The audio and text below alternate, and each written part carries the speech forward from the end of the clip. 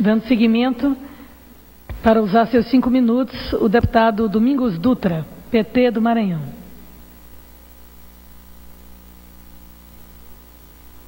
Senhora Presidenta, senhores deputados, senhoras deputadas, assessorias que nos acompanham, imprensa, todos aqueles que nos acompanham pela internet. Eu hoje utilizo esse espaço para prestar uma justa homenagem à TV Guará, de São Luís, Estado do Maranhão.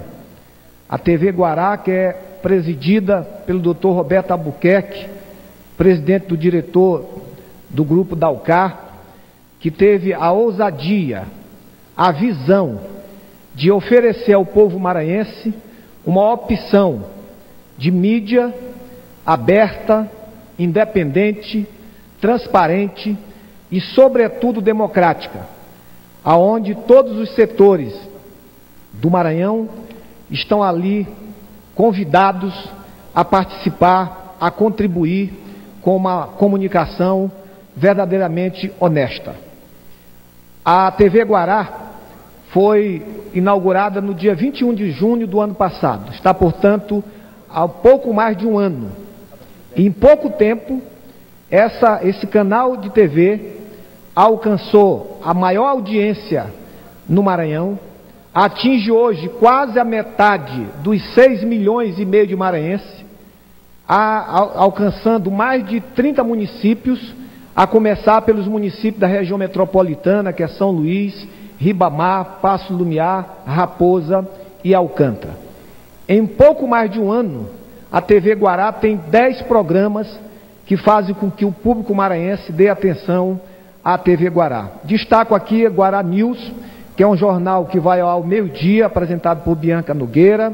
O Maranhão Acontece, que é um jornal local a partir das 19 horas, que fala da política, das coisas locais, apresentado por Hugo Reis e Daniela Bandeira que tem como comentarista o jornalista Raimundo Borges, do Jornal Imparcial, o economista José Cucindo, Valéria Lawande, que é comentarista de direito, e Paulo Veloso, que comenta a cultura.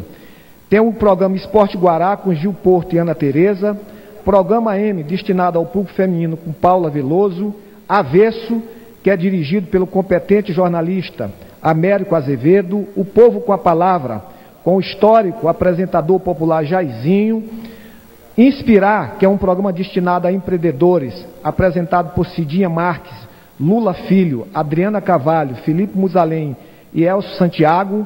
África Brasil, apresentado pelo ex-vereador é, Ademar Danilo. Dia News, que é de hora em hora, como faz a, a Band News, apresentado por Milena Dutra. Imparcial TV, que divulga as manchetes do Jornal Imparcial, que é um jornal respeitado, conceituado e antigo no Maranhão.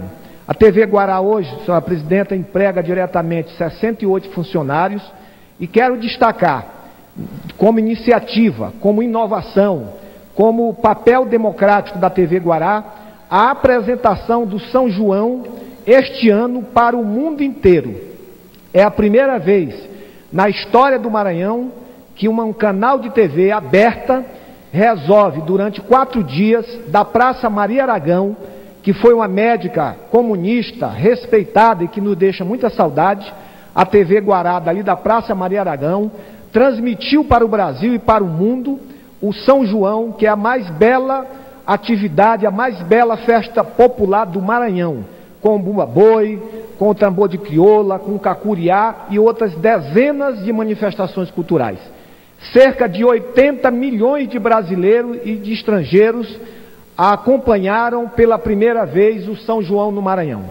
Além do Brasil, a TV Guará brindou a Espanha, a Alemanha, Portugal e a França com é, as imagens e com as brincadeiras.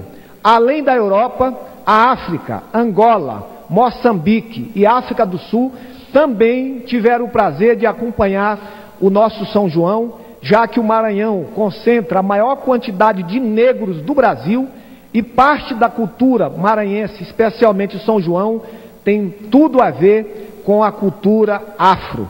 Portanto, eu quero parabenizar mais uma vez todos os profissionais da TV Guará, parabenizar o doutor Albuquerque pela coragem de colocar à disposição do Maranhão um espaço de comunicação aberta, democrática, plural, num Estado extremamente concentrado de abuso do poder político, de,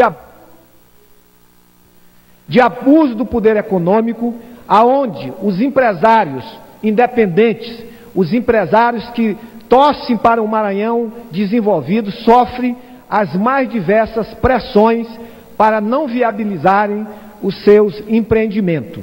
A TV Guará tem um dos melhores estúdios de TV do Norte e Nordeste, tem um grupo de profissionais extremamente qualificados e além das condições materiais, de uma imagem de primeira qualidade, de um estudo extremamente acolhedor, o que eu quero destacar aqui, deputada Thelma, na TV Guará, como opção para nós todos, é o seu caráter plural, caráter democrático, sem censura, sem discriminar por cor partidária, por opção religiosa, por, op por orientação sexual. Portanto, parabéns à TV Guará, espero que outros espaços aconteçam para que o Maranhão finalmente se incorpore ao mapa do Brasil. Muito obrigado.